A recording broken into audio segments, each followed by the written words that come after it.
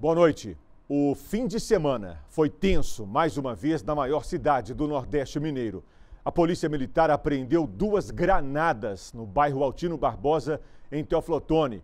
A rivalidade entre grupos criminosos chegou ao absurdo de uma granada ser apreendida, imagina onde? No telhado de uma casa. A rua Padre Eustáquio, no bairro Altino Barbosa, foi interditada para a retirada da granada.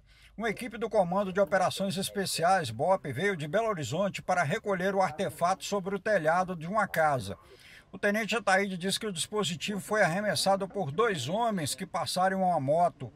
Bem, segundo informações que nós recebemos, foram dois indivíduos em uma motocicleta que arremessaram o artefato né, e caíram, caiu sobre o telhado da casa e não detonou.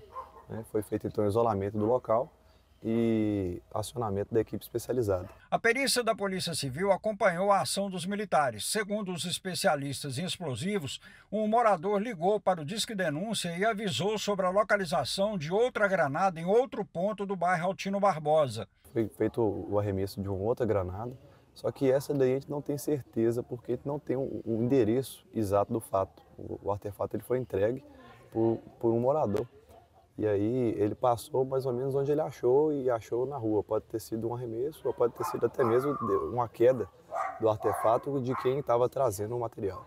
A polícia diz que esse foi o segundo ataque ao mesmo imóvel esse ano. Os suspeitos são de um grupo rival em confronto na cidade por mais espaço para o crime de tráfico de drogas. Como é conhecimento aqui do pessoal da cidade, né, está tendo esse confronto entre facções criminosas, rivais, né? E essa ocorrência aqui faz parte de mais um ataque né?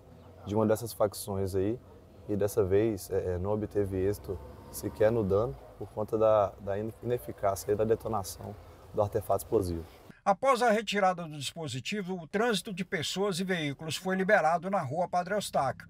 Essa foi a quinta granada recolhida esse ano pela PM todas foram desativadas pela equipe do BOP. A gente já tem apreendido aqui cinco artefatos explosivos, né, dois aqui dentro dessa ocorrência, um outro mais recente aí é, dentro do, do, bairro Boiadeiro e outros também em ocorrência em, em, que houve troca de tiro com a polícia militar e o artefato foi apreendido em posse né, do autor aí que, que realizou os disparos contra a guarnição, mas que não teve tempo ou condições de utilizar o artefato contra a equipe. O tenente Ataíde alerta as pessoas que não tenham contato com granadas. Acione a PM para que elas sejam removidas com segurança.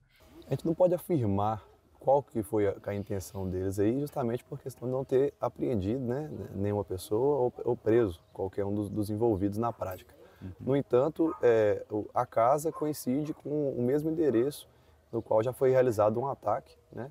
É, um intento aí criminoso em fato pretérito. Então é bem possível que o local realmente tenha sido o local correto para o ataque.